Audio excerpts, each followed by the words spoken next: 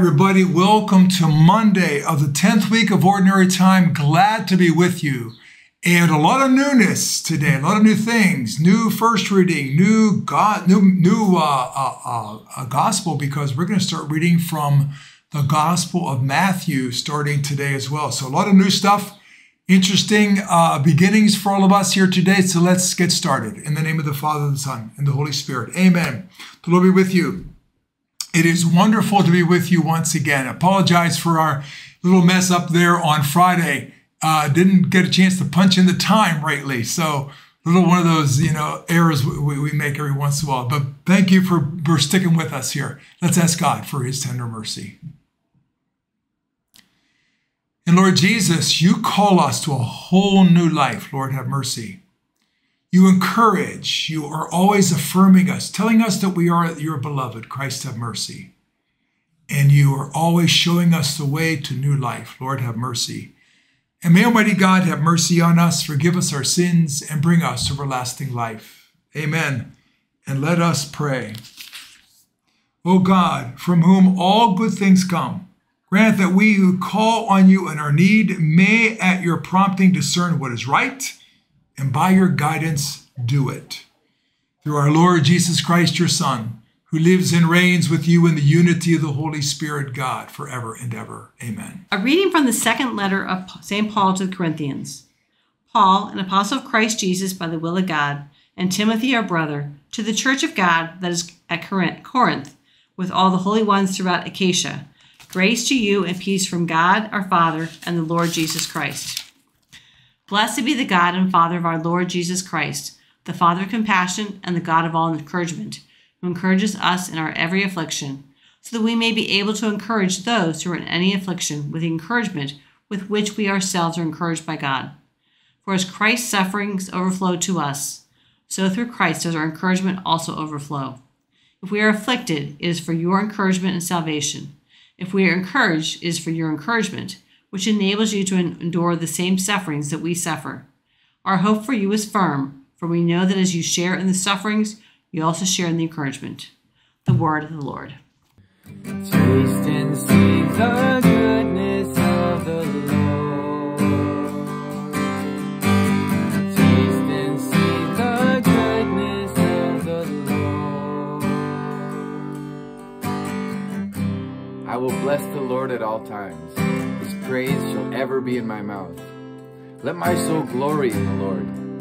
The lowly will hear me and be glad. Glorify the Lord with me. Let us together extol his name. I sought the Lord, and he answered me, and delivered me from all my fears.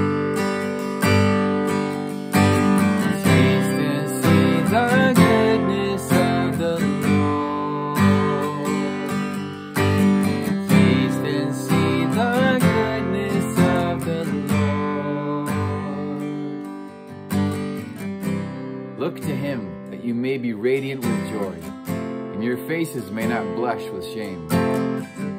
When the poor one called out, the Lord heard, and from all his distress, he saved him.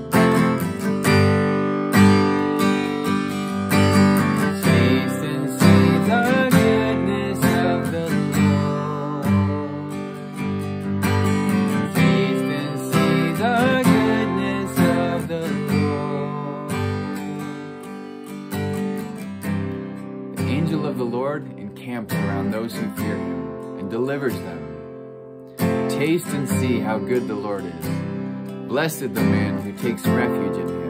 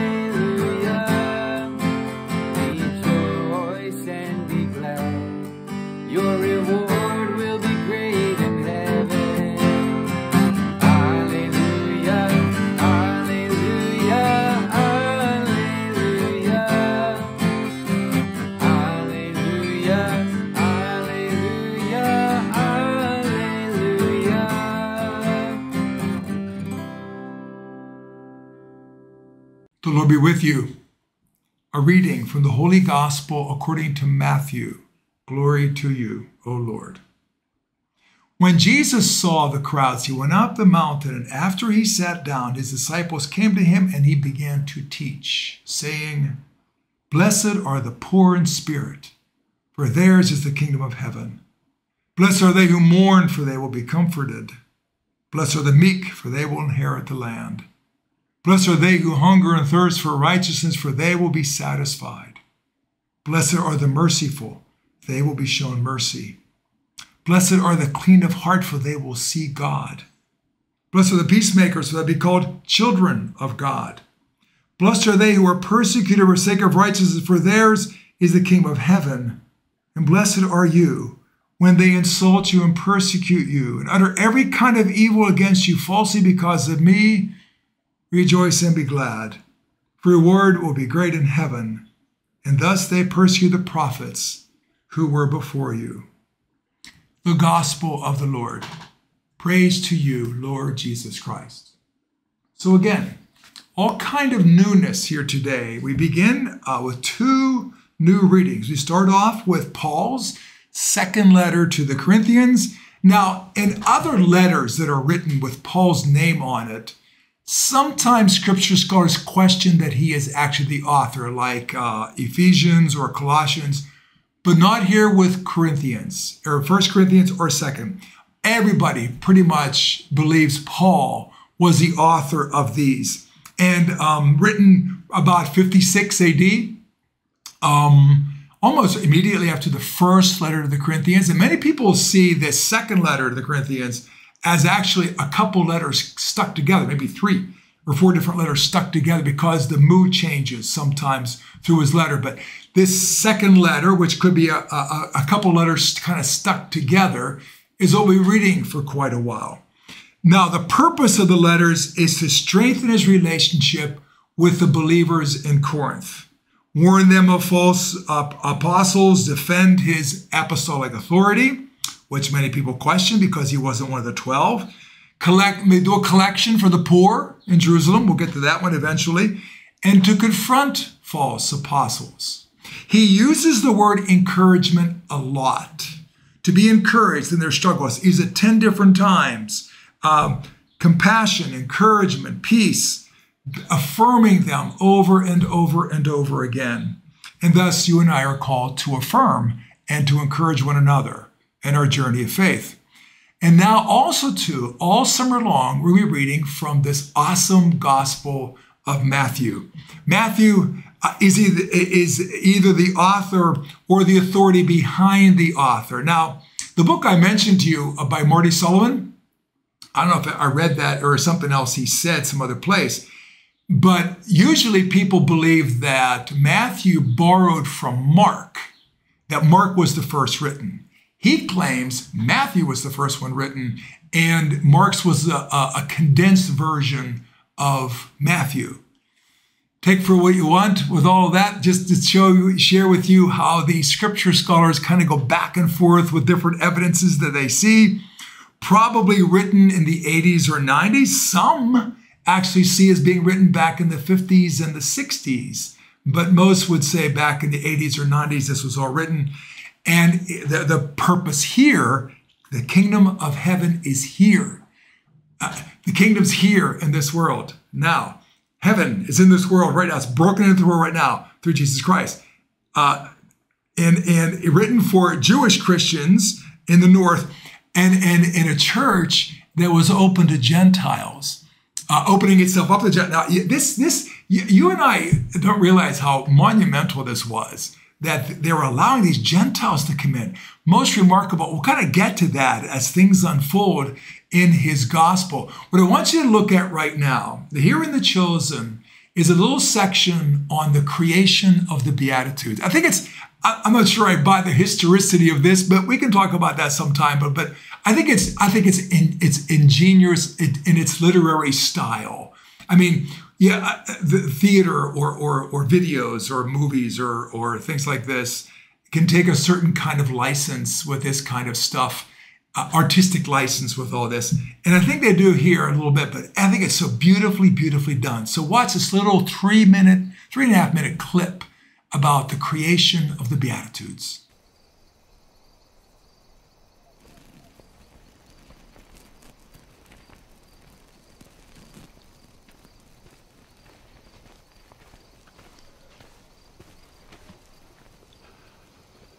Matthew.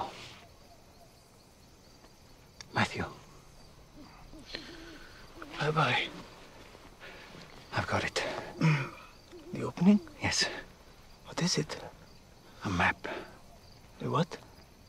Directions where people should look to find me. Okay. Give me a moment. Hmm.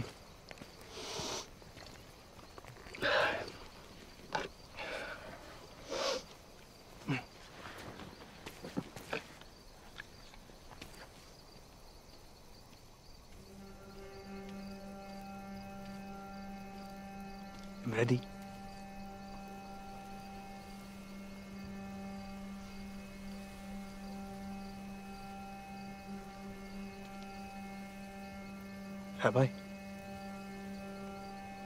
Blessed are the poor in spirit, for theirs is the kingdom of heaven. Blessed are those who mourn, for they shall be comforted. Blessed are the meek, for they shall inherit the earth. Blessed are those who hunger and thirst for righteousness, for they shall be satisfied. Blessed are the merciful, for they shall receive mercy. Blessed are the pure in heart, for they shall see God. Blessed are the peacemakers, for they shall be called sons of God. Blessed are those who are persecuted for righteousness' sake, for theirs is the kingdom of heaven.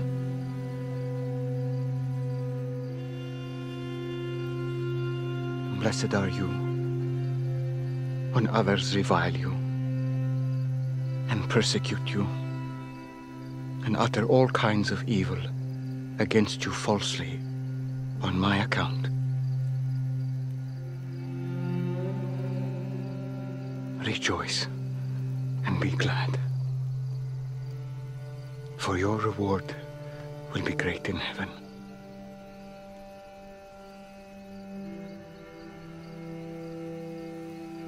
Yes.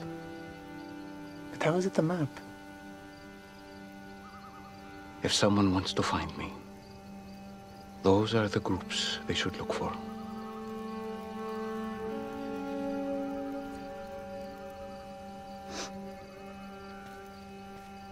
And then? You are the salt of the earth.